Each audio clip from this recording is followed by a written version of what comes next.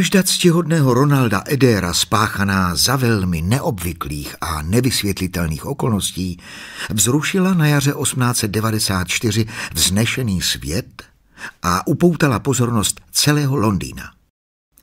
Veřejnost je již informována o podrobnostech zločinu, které při policejním vyšetřování vyšly najevo. Mnohé z nich však zůstaly utajeny, neboť obžaloba měla v tomto případě takový nadbytek důkazů, že ani nepovažovala za nutné je všechny zveřejnit.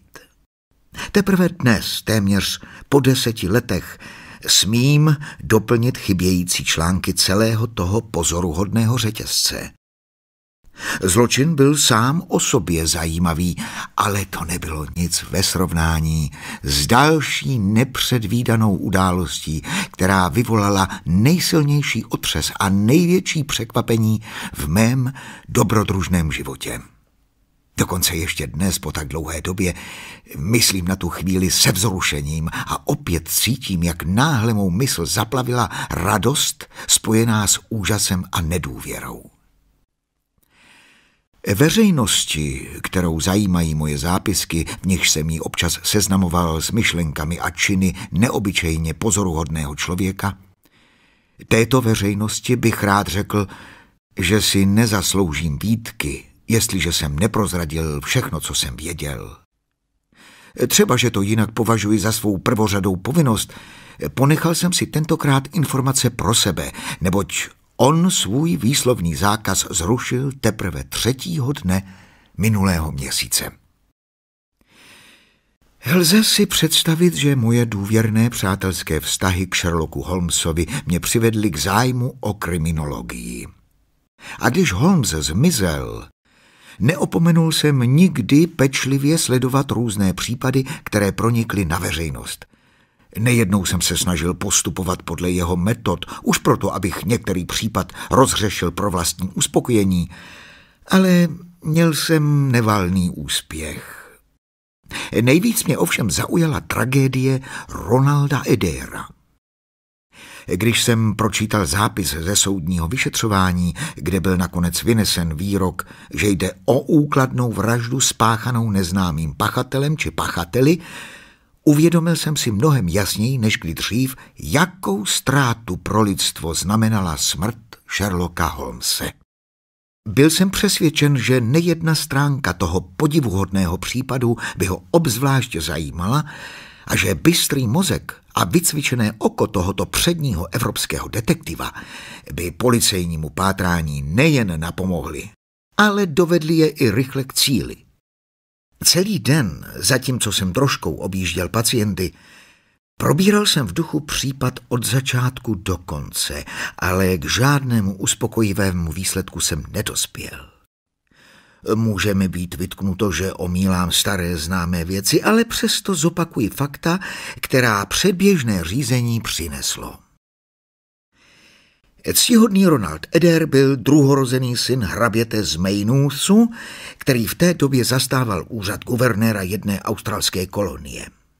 Matka odcestovala do Anglie, aby si dala operovat šedý zákal a spolu se synem Ronaldem a dcerou Hildou bydlela v domě číslo 427 v Park Lane. Mladík se pohyboval v nejlepší společnosti – a pokud bylo zjištěno, neměl žádné nepřátele a neholdoval žádné neřesti. Zasnoubil se s Edith Woodleyovou z Care Stairsu a po několika měsících byly zásnuby po vzájemné dohodě zrušeny. Nic nenasvědčovalo tomu, že by se tento krok některého z obou snoubenců citově hlouběji dotkl. Mladý muž se pohyboval v úzkém okruhu lidí stejných společenských zvyklostí, protože neměl žádné náročné choutky ani příliš vznětlivý temperament.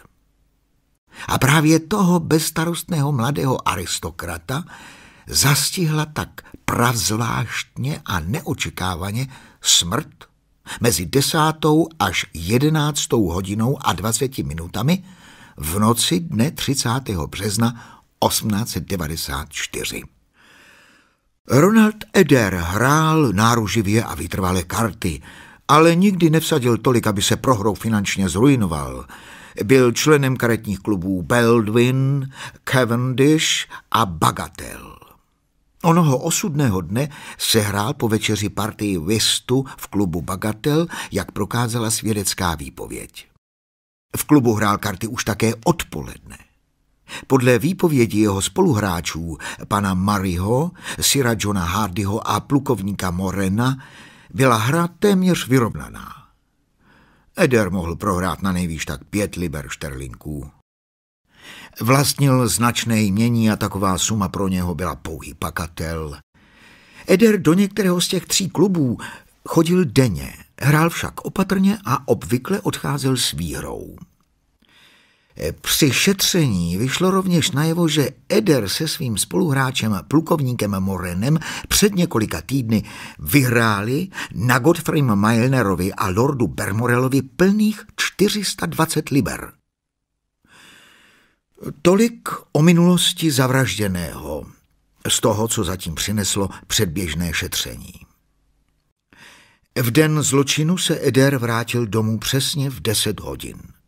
Jeho matka a sestra byly na návštěvě u příbuzných.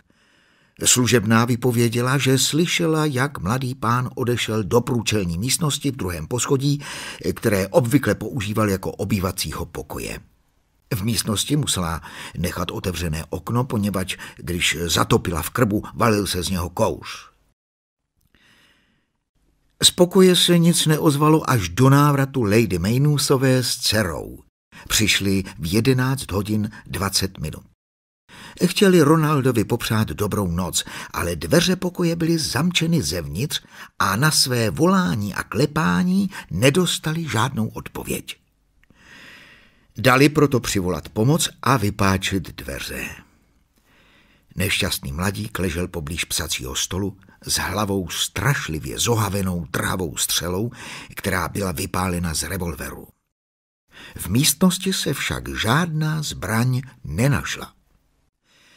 Na stole ležely dvě desetilibrové bankovky a sedmnáct liber a deset šilinků ve zlatých a stříbrných mincích narovnaných do sloupků. Vedle nich byl papír popsaný číslicemi a jmény některých Ederových přátel z klubu, což vedlo k domněnce, že se zesnulý před smrtí snažil sestavit přehled svých karetních výher a ztrát. Důkladné ohledání místa činu zkomplikovalo případ ještě víc. Nebyl předně zjištěn důvod, proč mladík dveře zevnitř zamkl. Bylo vyloučeno, aby to udělal vrah a unikl potom oknem. Okno je dobrých sedm metrů nad zemí a pod ním se prostírá záhon rozkvetlých krokusů. Na květinách ani na záhonu se nenašly otisky šlepějí a nenašly se ani na úzkém pruhu trávníku, který odděloval dům od ulice. Dveře tudíž musel podle všeho zamknout mladý Eder. Jak ale tedy byl usmrcen? Kdyby se pachatel na okno vyšplhal, zanechal by po sobě nějaké stopy. V případě, že by střelec vypálil ránu oknem, musel by mít znamenitou mušku, jestliže dokázal smrtelnou ránu zamířit z revolveru. Mimo to je Park Lane rušná třída a sotva 100 metrů od domu se nachází stanoviště drožek. Výstřel nikdo neslyšel. A přesto ležel v pokoji mrtvý muž, v hlavě střelu s useknutou špičkou, která se roztrhla do stran a přivodila zranění, po němž okamžitě následovala smrt. Okolnosti tohoto záhadného zločinu na Park Lane ještě více zatemňovalo to, že chyběl jakýkoliv motiv. Protože, jak jsem uvedl, Mladý Eder neměl žádného nepřítele a peníze a další cené věci zůstaly v pokoji nedotčeny. Celý den jsem v duchu uvažoval o těchto faktech a pokoušel jsem se přijít na nějakou teorii, která by všechny zjištěné skutečnosti vysvětlovala a zároveň jsem se snažil najít nejslabší článek, z něhož by podle názoru mého neboštíka přítele Holmese je nutno při každém vyšetřování vycházet. Přiznám se, že jsem žádné velké pokroky neučinil. Večer jsem se zatoulal na Oxford Street a v šest hodin jsem se odstl na nároží, kde Park Lane končí. Cestu k domu, k němuž jsem měl namířeno, ukázal mi neomylně hlouček ze vlounů stojících na chodníku a zírajících do jednoho okna. E, vysoký hubený muž s tmavými brýlemi, o němž jsem byl přesvědčen, že je to detektiv, rozvíjel tu jakousi teorii, zatímco ostatní se zhlukli kolem, aby ho lépe slyšeli. Přiblížil jsem se rovněž k mluvčímu na doslech, ale jeho vysvětlení mi připadalo tak nesmyslné, že jsem se znechuceně odvrátil.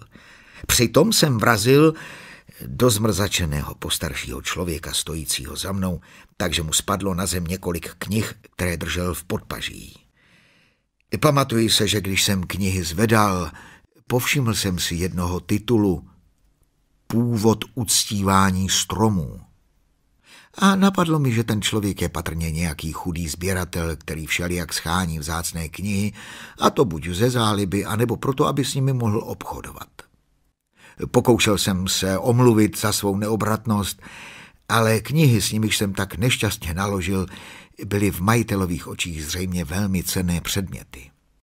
S pohrdavým zavrčením se ke mně otočil zády a jeho schrbená postava a bílé licousy se ztratili v tlačenici. Průzkum domu číslo 427 na Park Lane vnesl pramálo světla do otázky, která mě zajímala. Dům oddělovala od ulice asi půl druhého metru vysoká zítka se zábradlím. Bylo proto hračkou, aby se kdokoliv dostal do zahrady, ale kolem okna nevedl okap, takže vyšplhat se nahoru bylo zhola nemožné i pro sebeobratnějšího člověka. I když jsem se vracel do Kensingtonu, měl jsem v hlavě větší zmatek, než když jsem vyšel z domova. Seděl jsem v pracovně sotva pět minut, když vstoupila služebná a ohlásila, že si se mnou přeje mluvit nějaký muž. K mému překvapení nebyl návštěvník nikdo jiný než onen podivínský sběratel knih. Jeho vrázčitá, ostře řezaná tvář vykukovala z pod bílých vlasů a pod pravou paží držel dobrý tucet těch svých vzácných knih. Jste překvapen, že mě vidíte, pane, zaskřehotal. Přiznal jsem, že překvapen jsem. Inu, pane, dělal jsem si výčitky a když jsem pajdal kolem a náhodou zahlídl, že jste zašel do tohohle domu, řekl jsem si, stavíš se u toho hodného pána a omluvíš se, že se na něho kapánek utrhl, ale že jsi to nemyslel nijak zle a poděkuješ mu za to, že ty knihy zvedl. to nestojí za řeč, řekl jsem. E, dovolíte, abych se zeptal, jak mě znáte? Inu, pane, snad si to nevyložíte ve zlém, ale já bydlím v sousedství. Můj krámek s knihami najdete na nároží Church Street a vždycky vás v něm rád uvítám. Nezbíráte náhodou také knihy, pane? Mám tady britské ptactvo a Kátula a svatou válku, samé hledané tituly. Tamhle na druhé poličce máte zrovna tak místo pro pět knih. E, takhle to tam nevypadá moc pěkně. Co říkáte, pane? Otočil jsem hlavu, abych se podíval na knihovnu. Když jsem se opět obrátil, stál před mým pracovním stolem usměvavý Sherlock Holmes. Zvedl jsem se. Několik vteřin jsem na něho úžasle zíral a pak jsem patrně poprvé a naposled v životě omdlel. Při nejmenším se mi před očima vznášela šedá mlha a když se rozplynula, měl jsem límeček u krku rozepnutý a cítil jsem palčivou chuť brandy na rtech. Nade mnou se skláněl Holmes a v ruce držel čutoru. Milý Watsone, pravil hlas, který jsem tak dobře znal. Tisíckrát se vám omlouvám. Netušil jsem, že to na vás udělá takový dojem. Uchopil jsem ho za paži. Holmesy, zvolal jsem. Jste to skutečně vy? Je to vůbec možné, že jste naživu? Jak jste se jen dokázal vyškrábat z té strašlivé propasti? Počkejte chvilku, řekl. Jste opravdu natolik v pořádku, že si o těch věcech můžeme promluvit?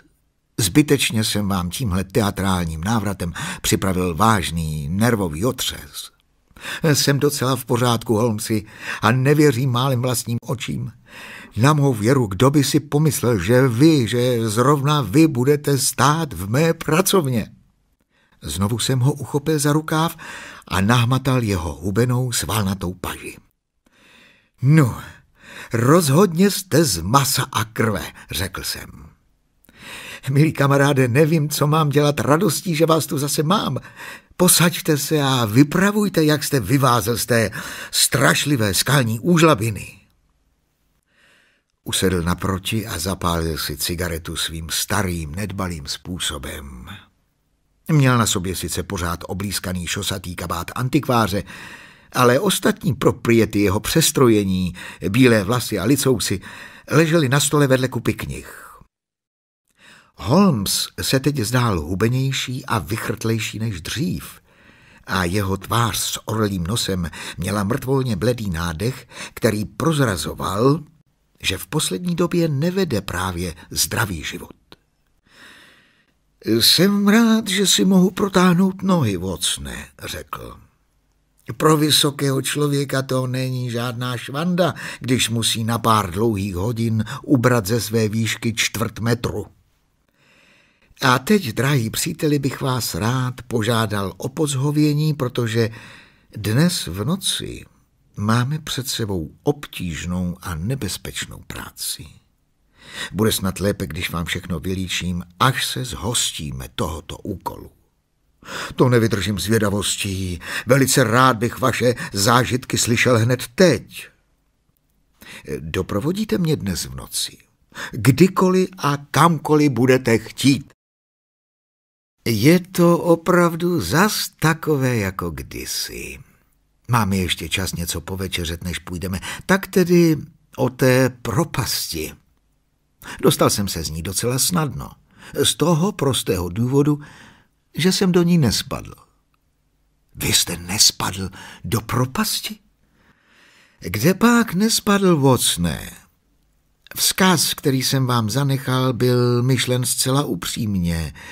Nepochyboval jsem ani dost málo, že se má životní dráha chýlí ke konci, když jsem zahlédl na úzké stezce vedoucí do bezpečí zlověstnou postavu profesora Moriartyho. V jeho šedých očích jsem četl nezvratné odhodlání. Vyměnili jsme spolu několik vět a on zdvořile svolil, abych napsal krátkou zprávu, kterou jste potom našel. Zatížil jsem ten papír tabatěrkou a holí a vykročil jsem po stezce. Moriarty v patách za mnou. Když jsem došel k místu, kde stezka končila, byl jsem rovněž v koncích. Moriarty u sebe neměl zbraň, ale vrhl se na mne a sevřel mě dlouhými pažemi. Věděl, že svou partii dohrál a dychtil pouze potom, aby se mi pomstil. Potáceli jsme se u samého kraje srázné skalní stěny. Naštěstí se trochu vyznám v baricu, v japonském způsobu zápasu, který mi byl nejednou náramně užitečný. Vymkl jsem se mu ze sevření, on pronikavě vykřikl, několik vteřin se zoufale snažil najít oporu pro nohu a rukama zatápal do prázdna. Všechny jeho pokusy nabít ztracené rovnováhy však byly marné a zřítil se do propasti. Ulehl jsem na zem a pozoroval, jak po dlouhém pádu se jeho tělo odrazilo od balvanu, až plouchlo do vody. Úžasle jsem naslouchal Holmesovu vyprávění, které přerušil jen, když si potáhl z cigarety. Ale co ty stopy, zvolal jsem. Na vlastní oči jsem viděl, že po stezce ke skalnímu útesu vedly dva páry stop a žádné se nevracely zpátky. Hned k tomu přijdu. Jakmile se profesor zřítil do propasti, blesklo mi hlavou, jakou neobyčejnou příležitost mi tu osud poskytuje. Věděl jsem, že Moriarty není jediný, kdo se zapřísáhl, že mě zabije. Nejméně tři další lidé budou po smrti svého vůdce lačnit po odvetě ještě víc. A všichni tři byli velmi nebezpeční protivníci. Co se nepodaří jednomu, to se jistě povede druhému či třetímu. Naopak, ale jestliže bude svět přesvědčen o mé smrti, Ti muži nabudou větší smělosti, přestanou být ostražití a já je dřív či později zneškodním. Potom teprve nadejde vhodná doba, abych oznámil, že jsem dosud mezi živými. Všechny tyhle myšlenky mi, myslím, prolétly hlavou ještě dřív, než profesor Moriarty dopadl na dno Reichenbachských vodopádů. Zvedl jsem se a prohlížel si skalní stěnu, u níž jsem stál. O několik měsíců později jsem četl vaše barvité líčení, jak je ta stěna kolmá, jenže ono to tak přesně není. Našel jsem na skále několik výstupků, bá dokonce i jakousi skalní římsu. Stěna se tyčí do takové výše, že se zdálo naprosto nemožné vylézt nahoru a po stezce jsem se rovněž nemohl vrátit, eh, poněvadž bych byl v bahnité půdě zanechal svoje stopy. Je ovšem pravda, že jsem se mohl vrátit pospátku, jak jsem to v obdobných situacích udělal už několikrát. Tři páry stop vedoucích jedním směrem by však rozhodně vyvolali podezření. Nezbývalo mi tedy nic jiného, než pokusit se o výstup po skalní stěně. Nebylo to nic příjemného, bocne. Dole pode mnou hučel v hloubce vodopád. Netrpím chorobnými představami, ale dávám vám slovo, že se mi zdálo, jak z propasti slyším Moriartyho volání. Jediný chybný krok by se mi stal osudným. Nejednou, když povolil trst trávy, kterého jsem se chtěl přidržet, nebo když se mi na vlhké skále sesmekla noha, myslel jsem, že je se mnou amen. Namáhavě jsem lezl výš, až jsem se konečně vyšplhal na skalní římsu asi metr širokou, pokrytou hebkým zeleným mechem, kde jsem se mohl pohodlně natáhnout. Ze zdola na mě nebylo vidět. Tam jsem ležel, když jste přišel vy a vaši společníci, milí Vocny, a tak starostlivě a bezvýsledně jste zkoumali okolnosti mé smrti. Konečně jste všichni dospěli k nevyhnutelnému a naprosto milnému závěru. Vrátili jste se do hotelu a já jsem zůstal sám. Domníval jsem se, že mé dobrodružství už skončilo, ale neočekávaná příhoda mě přesvědčila, že se mohu nadít dalších překvapení. Proletěl kolem mne veliký balvan svržený se z hora, dopadl na stezku a z ní se překulil do propasti. Na okamžik jsem se domníval, že jde o náhodu, ale pak jsem pohledl vzhůru a proti kalné obloze jsem spatřil konturu lidské hlavy. V zápětí dopadl další balvan, slabého čtvrt metru od mé hlavy, na skalní římsu, kde jsem ležel. Vysvětlení ovšem bylo na snadě. Moriarty nepřišel sám. Jeho společník, krátký pohled mi stačil, abych vytušil, jak nebezpečný je to muž, dával pozor, zatímco mě profesor přepadl.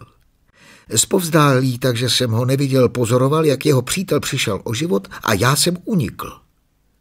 Čekal a potom se vyšplhal na temeno skály, aby vykonal to, co se jeho druhovi nepodařilo. Dlouho jsem se nerozmýšlel, vocne. Jakmile se nahoře znovu objevil ten krutý obličej, bylo mi jasné, že se chystá svalit další balvan. Slezl jsem na stezku. Myslím, že s chladnou rozvahou bych to byl nedokázal. Ten sestup byl stokrát obtížnější než výstup. Neměl jsem však čas o tom přemýšlet, poněvadž když jsem se spouštěl z Římsy, zasvištěl už další balvan. Asi v polovině cesty dolů jsem uklouzl, ale s pomocí boží jsem dopadl na stezku celý poškrábaný a s potrhanými šaty. Vzal jsem nohy na ramena a ve tmě jsem urazil přes hory 16 kilometrů a o týden později jsem se odstl ve Florencii přesvědčen, že živá duše neví, co se se mnou stalo. Měl jsem jen jediného důvěrníka, svého bratra Mycrofta. Velice se vám omlouvám, milý Watsone, ale záleželo mi především na tom, aby si lidé mysleli, že jsem po smrti. Vím s jistotou, že byste byl můj nešťastný konec nevylíčil tak přesvědčivě, kdybyste tomu sám nevěřil. V minulých třech letech jsem se nejednou chopil pera, abych vám napsal. Po každé mi však zadržela ruku obava, že váš láskyplný přátelský vztah by vás mohl přimět k nějaké indiskrétnosti a moje tajemství by bylo prozrazeno. Když jste do mne dnes vrazil, nedal jsem se vám poznat, protože vaše překvapení a vzrušení by mohly vzbudit pozornost a způsobit tak velikou a nenahraditelnou škodu. Mycroftovi jsem se svěřit musel, abych získal potřebné peníze. Situace v Londýně se nevyvíjela tak úspěšně, jak jsem doufal, protože při přeličení z Moriartyho tlupou dva její nejnebezpečnější členové, právě moji nejúhlavnější nepřátelé, zůstali na svobodě. Dva roky jsem cestoval po Tibetu, navštívil jsem Lhasu a strávil několik dní u Dalajlámy. Četl jste možná o pozoruhodných výzkumech norského cestovatele Sigersona, ale jistě vás nenapadlo, že to napsal vlastně váš přítel. Pak jsem procestoval Perzii, odskočil si do Meky a pobyl krátce v Chartúmu. O výsledku tohoto zajímavého pobytu jsem informoval naše ministerstvo zahraničí. Vrátil jsem se do Francie a v laboratoři v Montpellier jsem se několik měsíců zabýval výzkumy derivátů kamenouhelného dechtu. Daný úkol jsem zdárně dokončil. Když jsem se dozvěděl, že v Londýně z mých nepřátel zůstal už jen jediný, chystal jsem se k odjezdu, který zpráva o záhadném zločinu v Park Lane ještě uspíšila. Případ mě zajímal a kromě toho měl některé prazvláštní rysy, které mi připomněly jistou osobu. Neprodleně jsem se vrátil do Londýna, nepřestrojen zašel do Baker Street, kde paní Hudsonová dostala hysterický záchvat, když mě spatřila a zjistil jsem, že Mycroft pečoval o to, aby můj byt a všechny listiny zůstaly ve stejném stavu, v jakém jsem je po svém odchodu zanechal. A tak se stalo, milý Watsone, že jsem dnes ve dvě hodiny odpoledne usedl do své staré klubovky ve svém pokoji s jediným přáním, aby v druhé klubovce, tak jako kdysi, seděl můj starý přítel Watson. Toto pozoruhodné vyprávění jsem vyslechl onoho dubnového večera. Nevěřil bych, že je pravdivé, kdyby je nepotvrzoval pohled na vysokou hubenou postavu a výraznou bystrou tvář, o níž jsem již nedoufal, že ji znovu uvidím. Milí vocne, dnes večer nás oba čeká jistý úkol. Když ho zdárně splníme, můžeme s uspokojením prohlásit, že jsme nežili nadarmo. Marně jsem se pokoušel vyzvědět na něm více. Do rána toho ještě uslyšíte a spatříte dost, odpověděl. Tři roky jsme se neviděli, takže si máme co povídat až do půl desáté, kdy vyrazíme za pozoruhodnou záhadou prázdného domu. Vypadalo to opravdu jako za starých časů, když jsem v stanovenou hodinu usedl do drožky po Holmsově boku s revolverem v kapse a vzrušený nadcházejícím dobrodružstvím. Holmes mlčel a tvářil se nepřístupně a vážně. Ve svitu po uličních luceren jsem si všiml jeho přísného výrazu a neušlo mi, že zamýšleně svraštil obočí a sevřel rty. Nevěděl jsem, jakého travce se chystáme polapit v temné džungli londýnského posvětí, ale z výrazu vůdce lovecké výpravy jsem správně usoudil, že toto dobrodružství nebude tak zcela bez nebezpečí. Zatímco posměšný úsměv, který se chvílemi rozhostil po Holmesově zasmušlé asketické tváři, nevěstil pro tu škodnou nic dobrého. Myslel jsem, že máme namířeno do Baker Street, ale Holmes zastavil drožku u nároží Cavendish Square. Všiml jsem si, že když vystupoval, rozhlédl se pátravě napravo a nalevo a na každém nároží se velice bedlivě přesvědčil, zda nás nikdo nesleduje. Naše cesta byla v skutku neobyčejná. Holmes se obdivuhodně vyznal v spleti londýnských uliček a tak jsme bez váhání a rychle prošli několika postranními uličkami a průchody, o jejichž existenci jsem neměl ani tušení. Posléze jsme vyšli do úzké uličky, kterou z obou stran lemovaly ponuré staré domy. Zavedla nás na Manchester Street a odtud jsme se dostali na Blandford Street. Holmes pojednou zahnul do úzkého průchodu, vešel dřevěnou brankou do opuštěného dvora a odemkl zadní dveře domu, do kterého jsme oba vstoupili a Holmes pak za sebou dveře opět zamkl. Uvnitř byla tma jak v pytli, ale nepochyboval jsem, že dům je prázdný. Holá prkená podlaha praštěla a vrzala pod našimi kroky a nataženou rukou jsem se dotkl odchlíplých cárů papírových tapet na stěně. Holmes mi sevřel studenými tenkými prsty zápěstí a vedl mě dlouhým vestibulem, dokud jsem nezahlédl matný svit v okénku nad dveřmi. Tam Holmes prudce zabočil doprava a odstli jsme se v rozlehlém prázdném čtvercovém pokoji. V koutech ležely temné stíny, ale střed místnosti slabě ozařovalo světlo z ulice. Na blízku nestála žádná lucerna a okna byla pokryta silnou vrstvou prachu, takže jsme jen stěží rozeznávali siluety svých postav. Přítel mi položil ruku na rameno a přitiskl ústa k mému uchu. Víte, kde jsme? zašeptal. Tohle je určitě Baker Street, odpověděl jsem, když jsem zašpiněným oknem vyhledl na ulici. Přesně tak. Jsme v Camden House, který stojí přímo naproti našemu starému bytu. Proč jsme sem ale přišli? Protože je odtud znamenitý výhled na náš milonký domeček.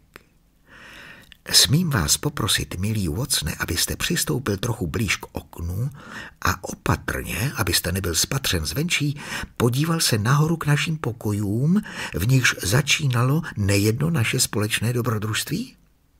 Přesvědčím se, jestli vás po třech letech nepřítomnosti ještě dokážu překvapit. Jakmile jsem se opatrně přiblížil k oknu a podíval se na známý dům, Zalapal jsem podechu a pak jsem udiveně vykřikl. Žaluzie byla zatažena a v pokoji svítilo jasné světlo. Od světlého pozadí se odrážela temná silueta muže sedícího v lenožce. Držení hlavy, vzpřímená ramena a výrazný profil, to vše mi bylo dobře povědomé. Postava měla obličej pootočený do strany a vypadala jako některý ze stínových obrázků, které si dávali rámovat naši dědečkové.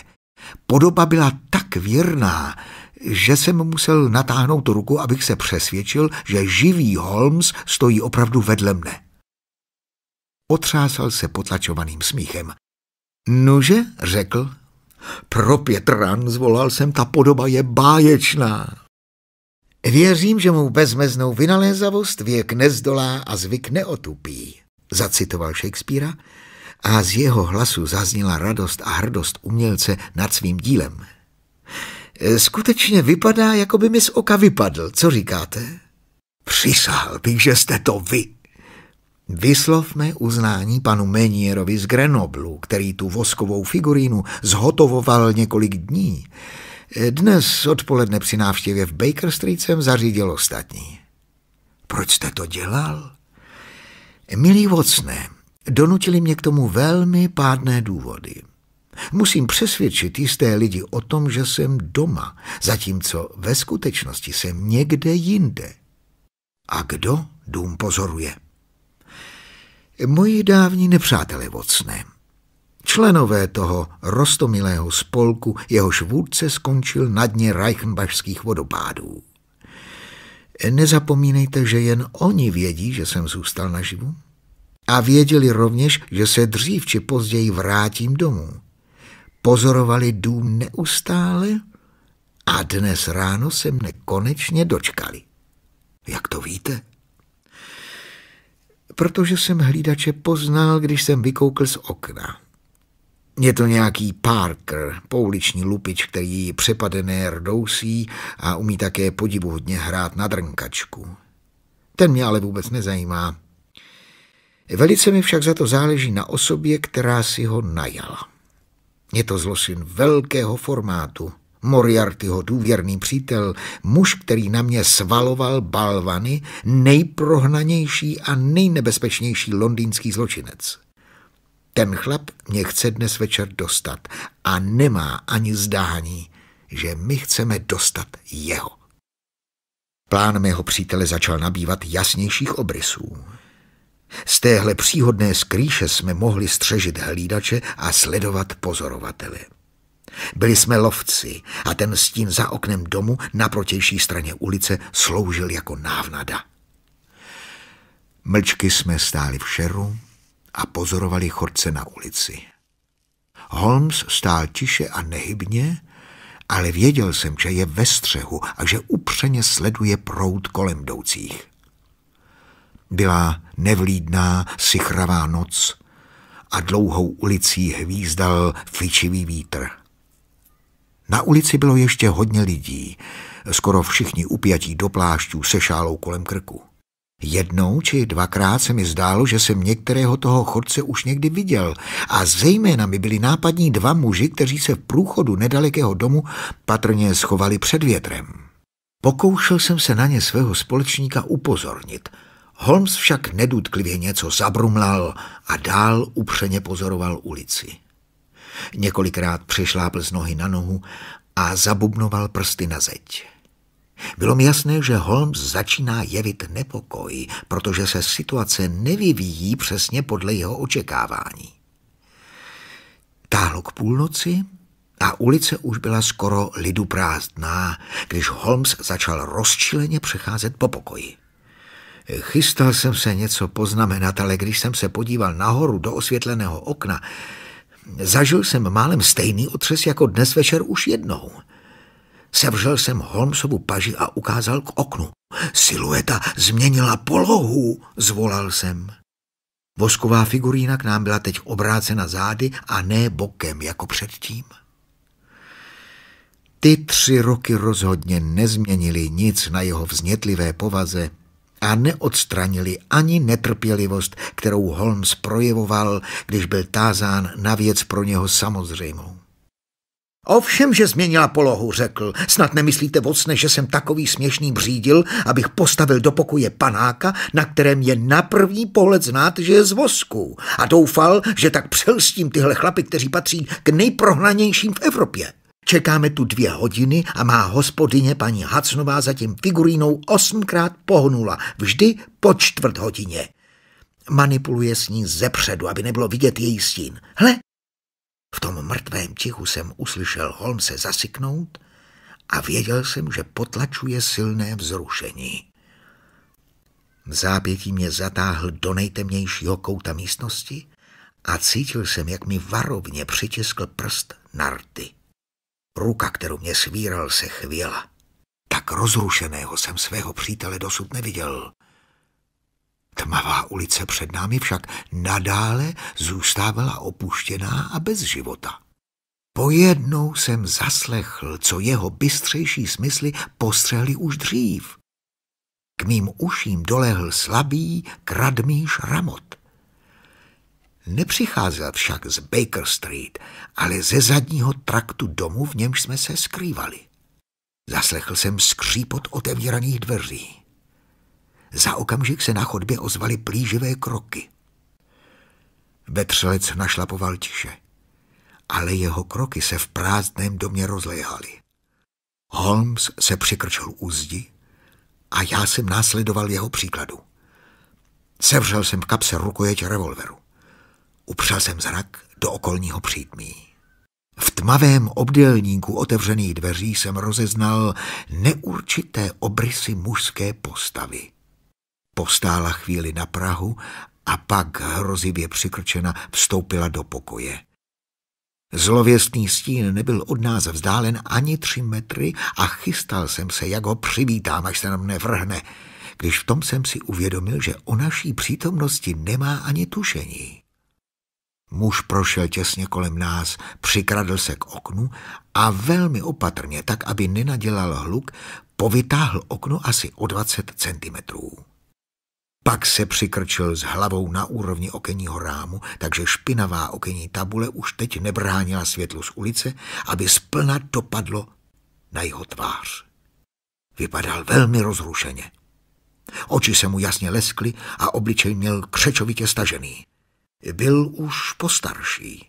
Měl tenký vystupující nos, vysoké lisé čelo a mohutný prošedivělý knír.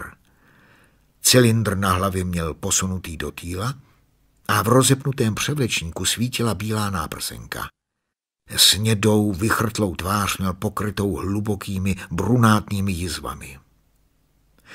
Domníval jsem se, že drží v ruce hůl, ale když předmět položil na podlahu, ozval se kovový zvuk. Potom vytáhl z kapsy převlečníku jakýsi objemnější předmět, chvíli s ním manipuloval, až se rozlehlo ostré cvaknutí, jako by zaklapla nějaká pružina či uzávěr.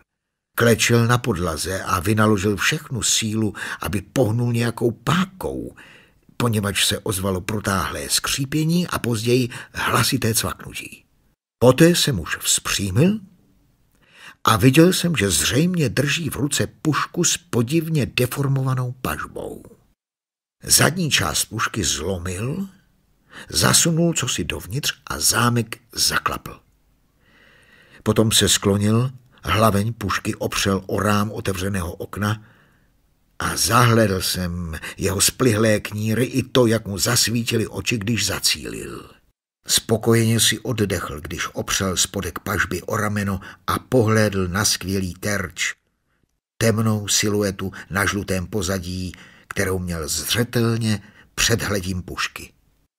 Na okamžik strnul a stál bez hnutí. Pak jeho prst stiskl spoušť. Ozvalo se pronikavé zasvištění a cinkot rozbitého skla. V té chvíli Holmes skočil střelci na záda jako tygr a srazil ho k zemi. V zápětí však byl muž opět na nohou a křečovitě popadl Holmese za krk. Udeřil jsem ho pažbou revolveru do hlavy a muž znovu klesl k zemi. Vrhl jsem se na něho a držel jsem ho, zatímco můj přítel pronikavě zahvízdal na píšťalku. Na chodníku se ozval dusot bot a dva uniformovaní strážníci s detektivem v civilním obleku vběhli předními dveřmi do domu a v zápětí vpadli do místnosti. To jste vy, Lestráde? řekl Holmes. Ano, já, pane Holmesi. Vzal jsem si to na starost sám. Rád vás vidím znova v Londýně, pane. Řekl bych, že mne budete docela potřebovat. Tři nevyřešené vraždy v jednom roce Lestráde, to je hodně. S tím případem v Mols jste se ale vypořádal, no dělal jste, co jste mohl. Už jsme byli všichni na nohou. Náš zajatec těžce oddechoval a dva statní strážníci ho drželi mezi sebou. Na ulici se začali zhlukovat zevlouni. Holmes přikročil k oknu, zavřel je a zatáhl žaluzie. Lestrát zapálil dvě svíčky a policisté rozsvítili lucerny. Konečně jsme si mohli našeho vězně dobře prohlédnout. Spatřili jsme neobyčejně mužnou, ale vysloveně zlověstnou tvář. Obočí myslitele a brada rozkošníka. Ten muž dostal do vínku velké schopnosti konat dobro, ale i zlo. Stačilo se podívat na jeho bezcitné modré oči s pokleslými cynickými víčky, na jeho spupný špičatý nos a hrozivě nakrčené čelo.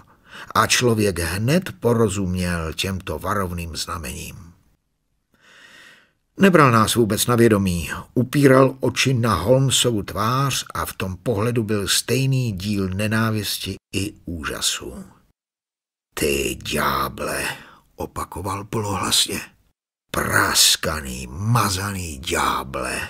Ale plukovníku, řekl Holmes a narovnal si pokrčený límeček.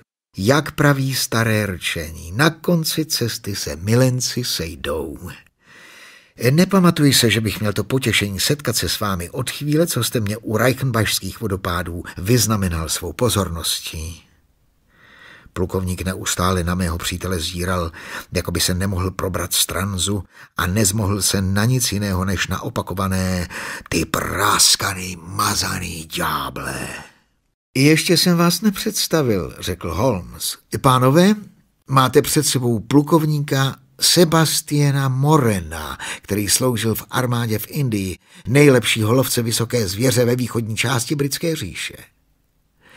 Mám za to, plukovníku, že v skutku nikdo nesložil víc tigrů než vy. Co říkáte? Rozlícený muž neodpověděl a jenom dál zíral na mého přítele. Jeho vsteklý pohled a zježené kníry připomínali tygra. Divím se, že tak zkušený šikary jako vy se dal oklamat tou prostou léčkou, řekl Holmes. Pro vás to nemohla být žádná novinka. Jistě jste nejednou čekal s puškou na tygra v koruně stromu, k němuž bylo přivázáno kůzle, že? Tenhle prázdný dům sehrál úlohu stromu a vy jste pro změnu dělal toho tygra.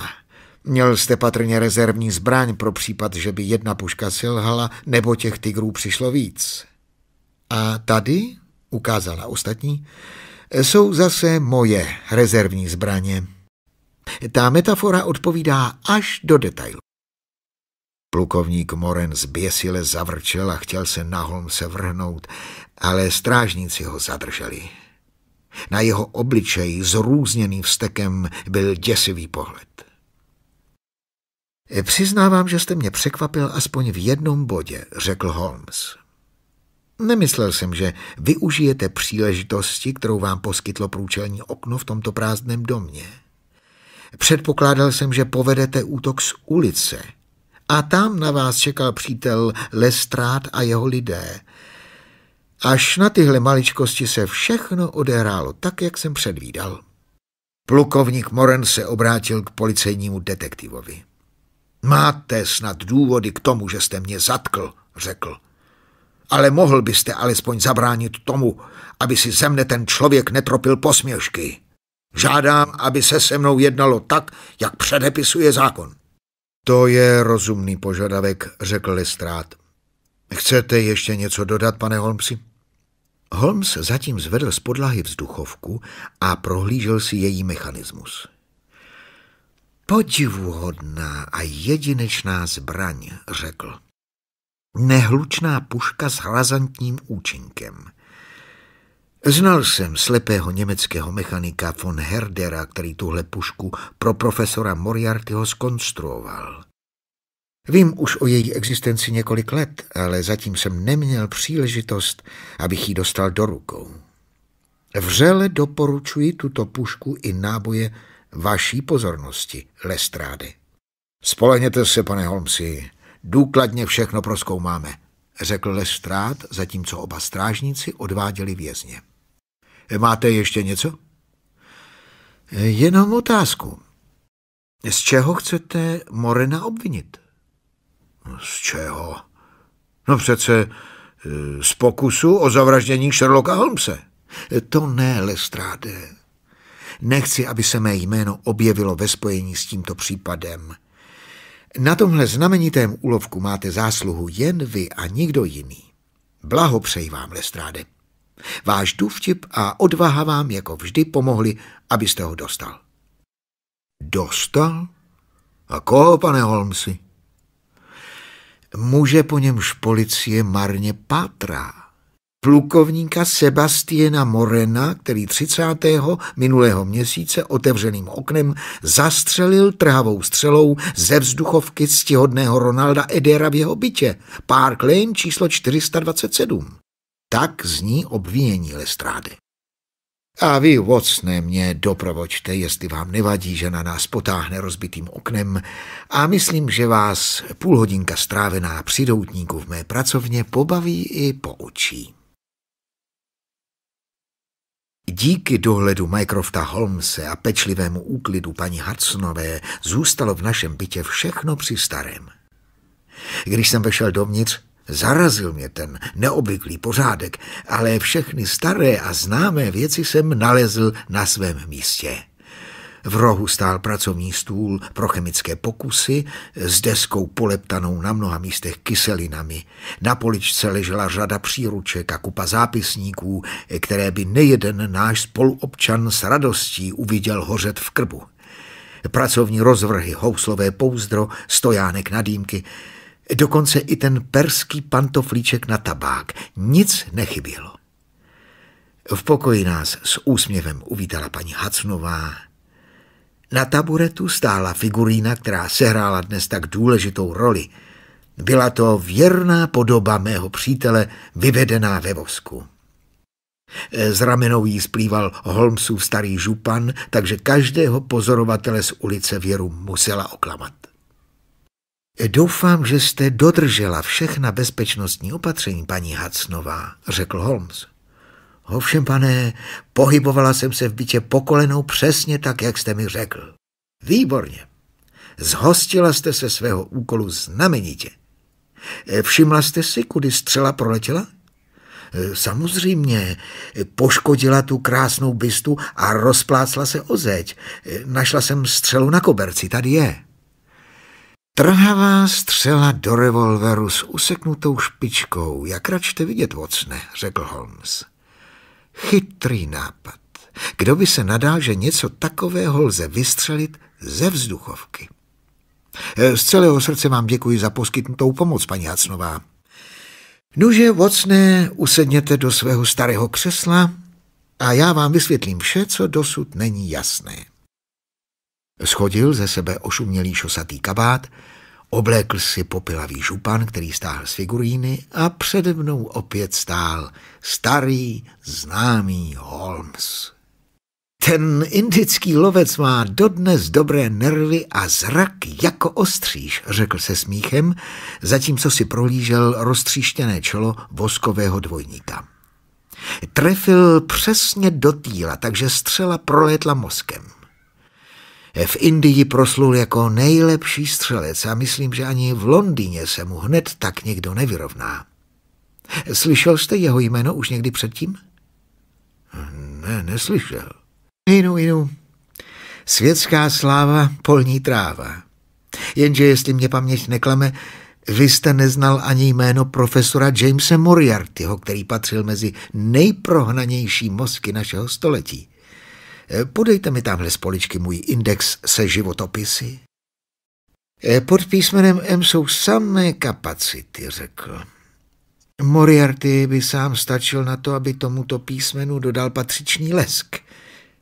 Kromě toho tu mám ještě traviče Morgana, nevlaze proslolého Meridua a Matthewse, který mi v čekárně na nádraží v Charing Cross vyrazil levý špičák. A tady taky máme našeho přítelíčka z dnešní noci. Podal mi tlustý sešit a já četl. Moren Sebastian plukovník. Opustil aktivní službu. Naposled u prvního oddílu zákopníků v Bengaluru. Narodil se v Londýně roku 1840. Otec Sir August Moran, komandér britské říše, bývalý vyslanec v Perzii, navštěvoval Eton a Oxford. Účastnil se v afgánském tažení bojů u Kandaháru a Kábulu. Knihy Vysoká zvěř západní Himaláje 1881, Tři měsíce v džungli 1884. Adresa Condit Street kluby anglo-indický, Tankerville a karetní klub Bagatel. Na okraji stálo připsáno Holmesovou rukou druhý nejnebezpečnější člověk v Londýně.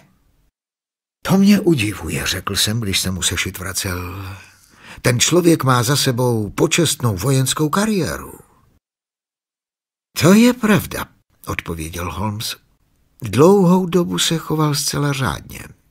Plukovník měl železné nervy a vypravuje se, že jednou slezl do odvodňovacího příkopu, kde se skrýval zraněný tygr lidožrout.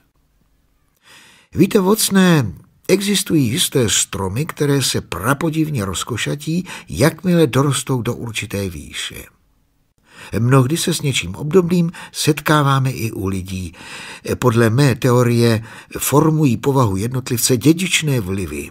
A takový náhlý zvrat, kdy dobro či zlo nabude převahy, lze vysvětlit z rodokmenu. V člověku se zrcadlí dědičné vlastnosti jeho rodu. Tahle teorie se mi moc nelíbí. Nenutím vás, abyste s ní souhlasil. Tak či onak jisté je, že plukovník Moren sklouzl na šikmou plochu. K veřejnému skandálu sice nedošlo, ale v Indii mu začala hořet půda pod nohama. Odešel z aktivní služby, vrátil se do Londýna a záhy si vysloužil špatnou pověst i zde. V tomhle období si ho vytipoval profesor Moriarty a jmenoval ho svým zástupcem. Štědře ho zásoboval penězi A jednou či dvakrát mu svěřil obtížné úkoly, kterých by se zločinec menšího formátu s úspěchem nezhostil. Snad si vzpomínáte, jak zemřela v roce 1887 paní Stuartová, ne? Jsem přesvědčen, že v tom měl prsty Moren, ale nedalo se mu nic prokázat. Plukovník se pojistil tak důkladně, že nemohl být obviněn ani při likvidaci Moriartyho tlupy. Pamatujete se ještě, když jsem vás tehdy navštívil, jak jsem uzavřel okenice v pokoji s obavy před tou vzduchovkou? Nepochybně jste si myslel, že mi přeskočilo. Věděl jsem ale dobře, proč to dělám, poněvadž mi existence téhle podivuhodné zbraně byla známa a rovněž jsem věděl, že je v rukou jednoho z nejlepších střelců na světě. Když jsme přijeli do Švýcarska, on a Moriarty nás sledovali a za těch pekelných pět minut na skalní římse u Reichenbachských vodopádů mohu poděkovat také jen jemu. Nemusím vám snad ani říkat, že jsem ve Francii pozorně sledoval zprávy v novinách, abych nepropásl příležitost, jak se mu dostat na kobylku. Dokud by byl plukovník na svobodě, nestál by můj život v Londýně za nic. Ve dne v noci bych měl v patách jeho stín a jednou by se mu jistě naskytla příležitost, aby mě sprovodil ze světa. Co jsem mohl dělat? Nemohl jsem ho zastřelit, poněvadž bych se hned dostal před soud. Nemohl jsem se obrátit na úřady, poněvadž by moje podezření považovali za výplot chorobné fantazie. Nemohl jsem tedy nic dělat. Sledoval jsem proto zprávy o zločinech, poněvadž jsem věděl, že takhle plukovníka dřív nebo později dostanu. Pak jsem se dočetl o smrti Ronalda Edera. Konečně nadešla má chvíle. Na základě toho, co jsem věděl, nepochyboval jsem ani dost málo, že vrahem je plukovník Moren. Hráli spolu karty, on pak sledoval Edera až k pitu a otevřeným oknem ho zastřelil. To bylo nad veškerou pochybnost. Už jen ty střely by stačily, aby plukovníka přivedli pod čibenici. Okamžitě jsem se vrátil. Viděla mě hlídka a bylo mi jasné, že plukovník bude i hned informován o mém příjezdu. Jistě vytušil, že můj náhlý návrat a ten zločin spolu nějak souvisí a toho muselo vyvést z míry. Byl jsem přesvědčen, že se mě neprodleně pokusí odklidit z cesty a že k tomu použije své vražedné vzduchovky. Připravil jsem mu do okna nádherný terč a upozornil jsem policii, že je možná budu potřebovat. Mimochodem mocné ti muži v průjezdu vašemu bystrému oku neušli. No a vybral jsem si po mém soudu výhodné místo, z něhož bylo možno Morena příčinu pozorovat. Ani ve snu mě nenapadlo, že si totéž místo zvolí za střelecké stanoviště. Nuže, milý vocne, přejete si vysvětlit ještě něco? Ano, ano, řekl jsem. Neobjasnil jste mi motiv vraždy. Milý vocne, to všechno jsou na nejvíc dohady, při nichž ani nejdokonalejší logika není nic platná. Na základě známých skutečností si každý může vytvořit takovou teorii, jaká se mu líbí. A vaše domněnka může být stejně správná jako moje. Vy jste si tedy v tomto zločinu vytvořil vlastní teorii? Myslím, že není nijak obtížné vysvětlit fakta. Před běžným šetřením vyšlo najevo, že plukovník Moren a mladý Eder vyhráli v kartách značnou peněžní částku. A plukovník hrál dozajista falešně, to pro mne není novinkou.